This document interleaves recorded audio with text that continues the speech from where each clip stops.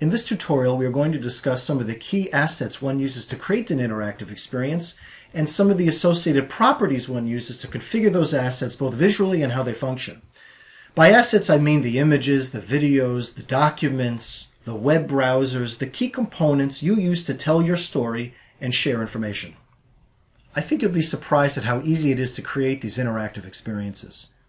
Let's start with an image. I'm going to drag an image into the active scene, use my mouse to reposition it and resize it a bit, and then open up the Properties panel and start playing with some of the configuration options. Starting at the top, the key element of the container and content categories that allows me to determine how much I want the image to be moved. Default, move it all the time. Static, never. Pin means you can pin it.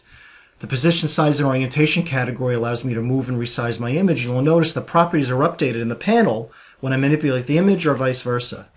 The display buttons category allows me to determine whether or not to display certain buttons that have various functions, like maximize the image, minimize the image, etc. And I can change how those controls look, both color, uh, radius, whether or not they have a shadow, so I can customize the look and feel of my application to some extent. The title category allows me to display the title of the file at the bottom of the image if I want to and change how that looks as well. And then the tools category allows me to, among other things, show the drawing tools. Now we'll take a look at this in greater detail later in the video, but notice I can add different colors, different pen widths, I can show a drawing grid, I can do a lot of things to enable the user to create on-screen annotation at runtime.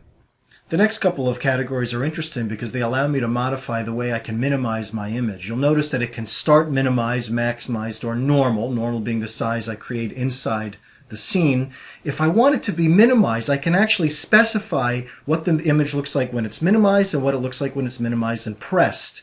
I can change the size of the minimized image. I can move it to different parts of my screen. Uh, and this enables me to create some really interesting effects Finally, we can determine whether or not we can rotate, resize, move any of these graphics. Let's see it in action. We'd elected to start the image in the minimize state, so I need to touch it to normalize it. Here are all of the different controls we had turned on in the properties panel. It looks exactly as it does in the editor as it does here in play mode. Uh, and they all work as expected. So if I touch maximize, minimize, they maximize and minimize as appropriate. I can continue to move it. And now we get to play with the drawing tool. I can choose any width, any color that I established in my properties panel. I can draw directly on the grid. The grid is optional. You don't have to have the grid. I can use my eraser to erase different lines, and I can even pop out a copy so that I can erase my changes in the original, but I still retain a copy of the image with my annotation for later use. Let's think about building a more formal experience now. I'm going to return this image to its normal state and reposition it a bit to make some room for a video I'd like to place in the bottom left.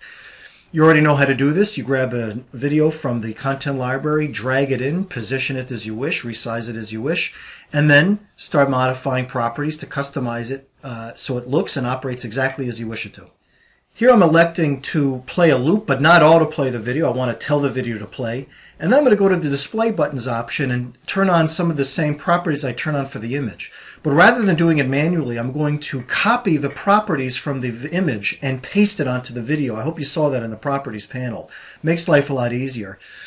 There are other controls for the video unique to the video. I can show a timeline. I can show sound control. I want to give my users the option to modify those things at runtime. And I'm going to give them the same colors as I have the additional painted properties. Let's see this in action. As you recall, I had set the video to not autoplay. I need to physically push the play button. Then I will adjust the sound and we'll enjoy the video.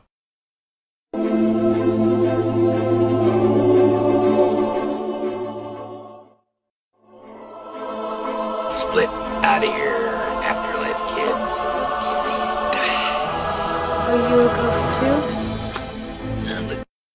I loved Beetlejuice. So there you have it, the use of an image and a video inside an Intuiface experience. Let's now play with a third kind of asset. This is the document asset.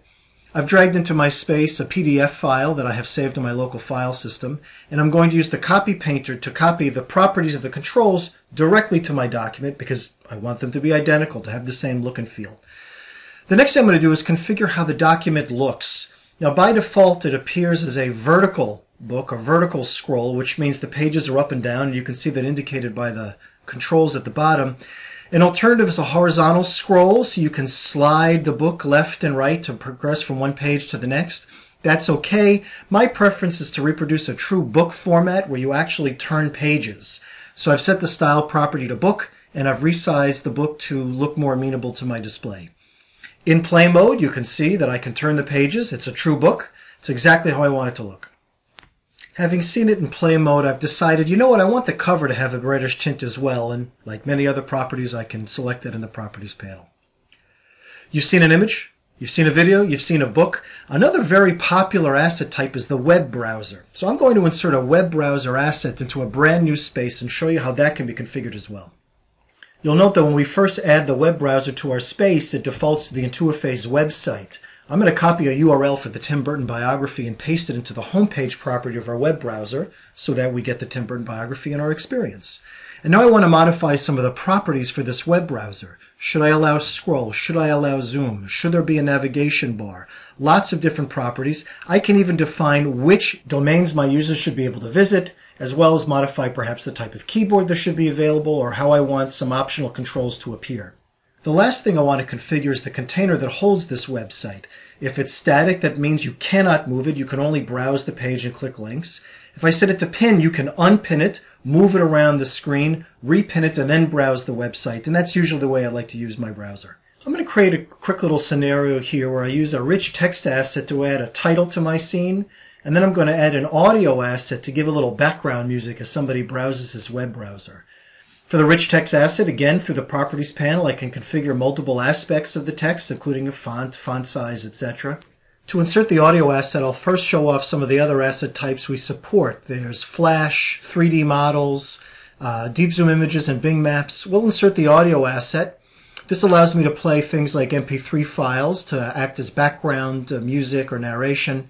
And just like the video, I can actually set whether or not I want it to autoplay, whether I want it to loop, and what kind of controls I want to display. And in this case, I want to show both the timeline and the sound control to give the users some flexibility in what they want to hear when they're browsing the website. Finally, I'm going to select the audio file I'd like to play inside this experience. Because I haven't added any audio files to this experience yet, I'm actually going to browse Windows Explorer and select the file I already have installed on my machine. That's all there is to it. Let's start the experience and enjoy the music.